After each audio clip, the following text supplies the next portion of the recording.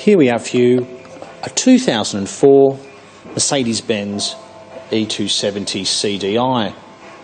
It's done just 77,000 kilometres from new and it's in very good condition. The last E270 we sold from 2004 had 230,000 kilometres.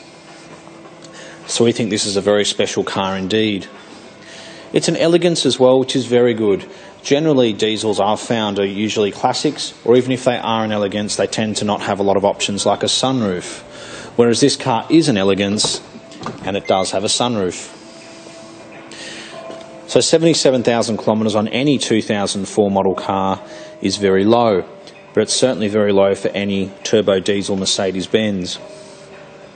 The wood grain is in very good condition. It's obviously been garaged. It's got a very good service history to it, and I believe every single service has been done at a Mercedes Benz dealership right up until about a thousand kilometres ago. I think this colour is called Zircon Silver. It's got the very nice elegance alloy wheels. The car is in very good condition. I'd, I don't even go so far as to say it's a spotless car. Usually these diesels are a bit grubby. They generally come from the country and they usually have a lot of kilometres on them. This is not one of those cars. It was also optioned with factory parking sensors front and back, which is another thing on a diesel which is quite rare. The boot on any E-Class is very good. It's, it's got a good spare. It's got a good quality battery as well, which is very important for any European car. The fuel consumption is incredible, whether you're driving it up and down the freeway or if you are using it around town, you've got plenty of power without the added cost of fuel. The same engine is used in the big Vito vans. So these drive along very nicely. It comes with the in-dash CD stacker, dual zone climate control, along with all the other elegance features.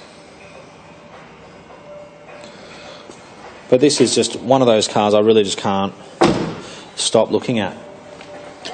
With a lot of these low kilometre vehicles, they've generally been parked outside, or they've got quite a few little marks and things around them because they've just been driven to the shops.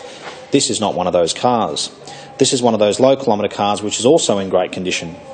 You can see the headlights look like new. You've got front parking sensors as well. The reason why I say that is it's so frustrating when we get a lovely E Class Mercedes Benz and it doesn't have the parking sensors, which is what everyone really wants these days.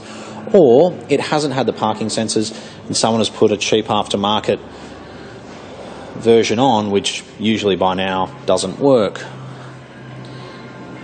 So I've been waiting for a low kilometre, good condition diesel E Class Mercedes Benz. This is it.